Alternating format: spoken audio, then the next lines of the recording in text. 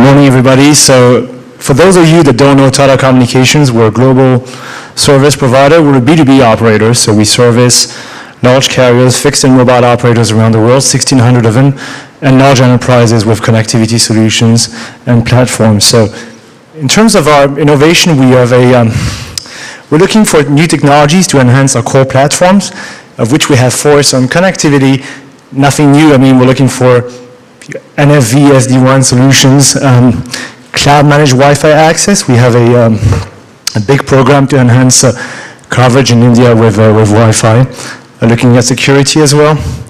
Um, on the cloud front, uh, software-defined storage, uh, application migration for hybrid cloud uh, solutions.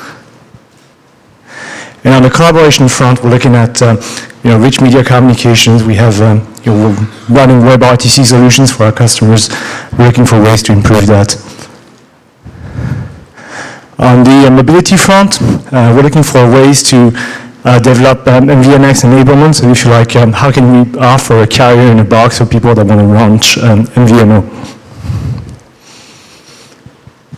We also have live projects. So these were our core platforms.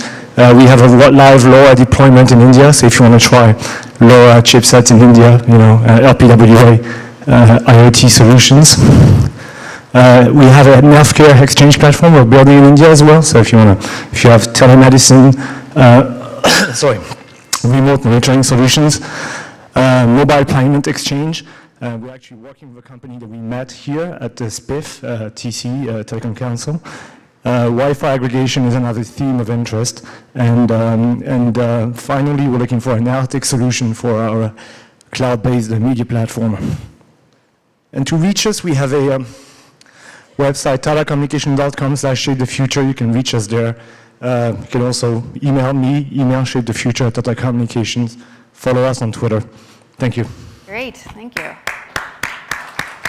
right. So what you can see here, um, Alex, let me give you your form. Um,